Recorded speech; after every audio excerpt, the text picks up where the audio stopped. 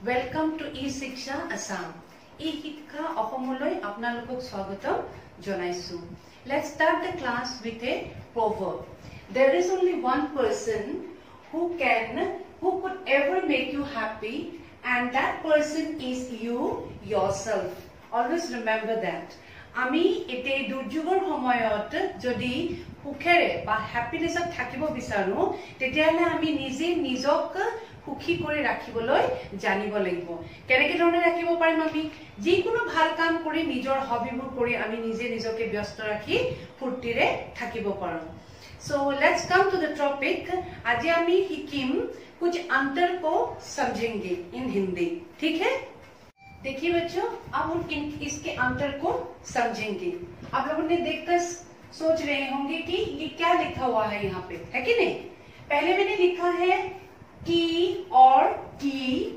फिर मैंने लिखा है है और हैं, और मैंने लिखा है मैं और मी। ठीक है? अब इनका अंतर क्या है ये मैं आप लोगों को समझाना चाहती हूँ। अब यहाँ पे देखिए, ये जो की है, ये की, इसमें छोटी की मात्रा है और इसमें क्या है? बड़ी की मात्रा है। अब ये की कहा में प्रयोग होता है और ये की कहा में प्रयोग होता है। ये की एक्चुअली इंग्लिश में हम कहते हैं ना कंजांक्शन मैं इसको और अच्छी तरह से आप लोग को लिखकर भी दिखाऊँगी। मैं थोड़ा बहुत आप लोगों को कहना चाहती हूँ। तो ये की दोनों वाक्यों को क्या करते हैं? जोड़ते हैं। और ये की है कारक। ये कौन से कारक है? आप लोगों को याद है शायद, मैंने आप लोगों को कारक लिया था। तो ये संबंध कारक का क्या है? विभक्ति चिन्ह है। ये क्या करती है? दो संज्ञा या सर्वनाम को जोड़ते हैं या संबंध दिखाते हैं इन लोगों का। वैसे इनका प्रयोग होते हैं। और इनका करना भूतकालिक रूप में भी इनका प्रयोग होता है। मैं उदाहरण सहित आप लोगों को समझा दूँगी। और ये है और इसमें क्या है? है। यहाँ पे देखिए तो सिर्फ़ बिंदी का अंतर है। ये दोनों तो देखने में सेम है, लेकिन यहाँ पे एक बिंदी है, यहाँ पे लेकिन बिंदी नहीं है। अब कहाँ पे ये बिंदी नहीं होने वाला प्रयोग होगा और कहाँ पे बिंदी होने वाला प्रयोग होगा? ये जो बिंदी नहीं है ये प्रयोग एक वचन के साथ होता है और ये बहुवचन में होता है। फिर मैं आती हूँ मैं और मे में ठीक है? ये मैं है सर्वनाम जो हम अपने के लिए कहते हैं है कि नहीं? ये पुरुषवाचक है पुरुषवाचक के उत्तम पुरुष के, के आते, उत्तम पुरुष में आते हैं और इसका प्रयोग हम एक वचन के लिए प्रयोग करते हैं। और ये में भी आप लोग को याद है, शायद याद आ रहा है, ये भी कारक से ही है। ये किसका विभक्ति चिन्ह है? अधिकरण का विभक्ति चिन्ह है। अब मैं आप लोगों को दिखाऊँगी इसका प्रयोग कैसे होता है, ठीक है? उदाहरण सही। बच्चों, अभी देखिए, यहाँ पे मैंने उदाहरण रखा है। राम ने बताया कि वो कल आएगा। अध्यापिका ने कहा कि सब शांत बैठे रहिए। मैंने आप लोग को कहा था, ये जो छोटी का की है, ये दो वाक्य को क्या करते हैं? जोड़ते हैं। और यह एक क्या है? अव्यय है। अव्यय आप लोगों को, मालूम है सब लोगों को? या अव्यय एक ऐसा शब्द है जो कि मतलब लिंग, वचन, पुरुष और कारक इत्यादि के कारण मतलब इसका विकार नहीं होता, ये बदलता नहीं है। वही कहते हैं। तो यहाँ पे आप देखिए तो दो वाक्य को जोड़ रहे हैं। राम ने बताया कि वह कल आएगा। राम ने बताया एक वाक्य है है ना? और वो वाक्य वह कल आएगा, है ना?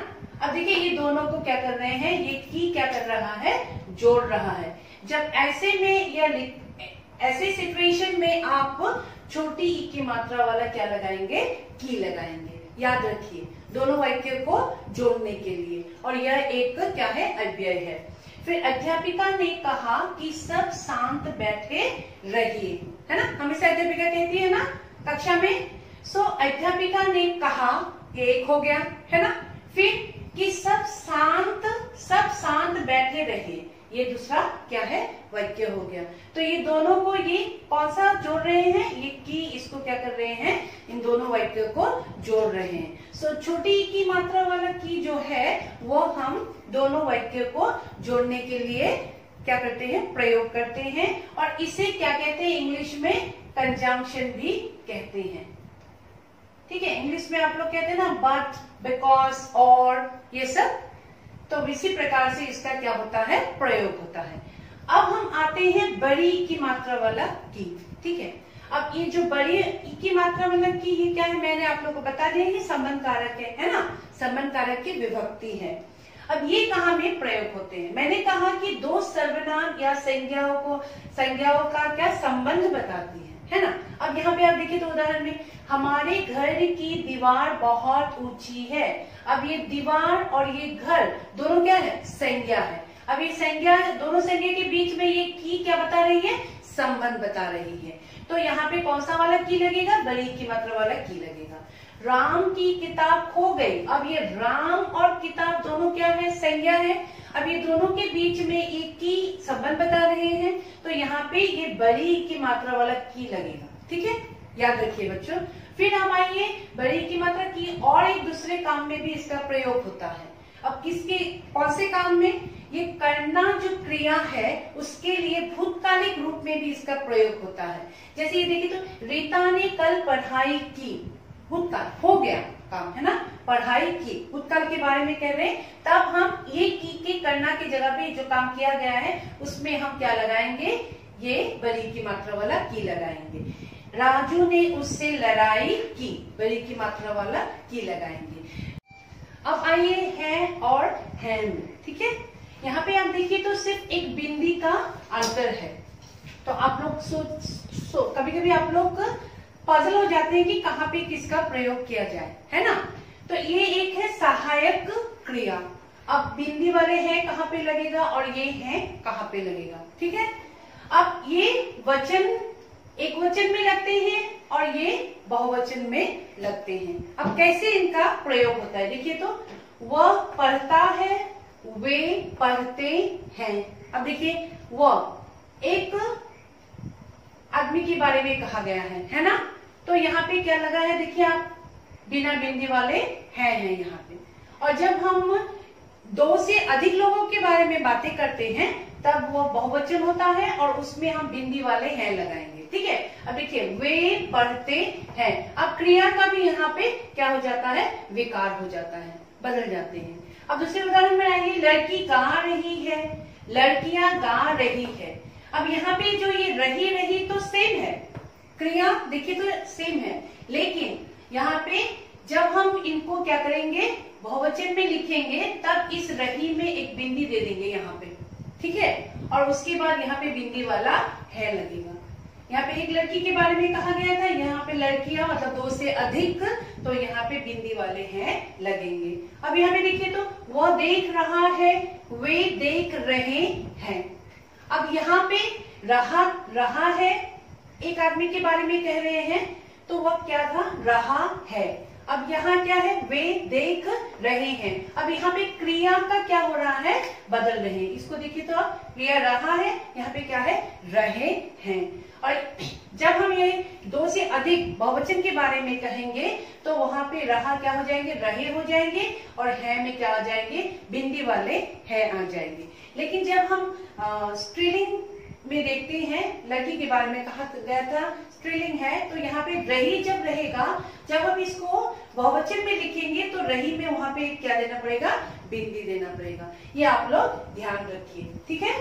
अब यहाँ पे आइए यह मुर्गी है, ये मुर्गियाँ हैं। दो से अधिक मुर्गियों के बारे में कहा है तो ये मुर्गियाँ हैं। तो यहाँ पे कौन सा लग रहा है? ये बिंदी वाले हैं लग रहे हैं। जब हम एक के बारे में कह रहे थे तो वहाँ पे बिना बिंदी वाला क्या लगेगा? है लगेगा। ठीक है?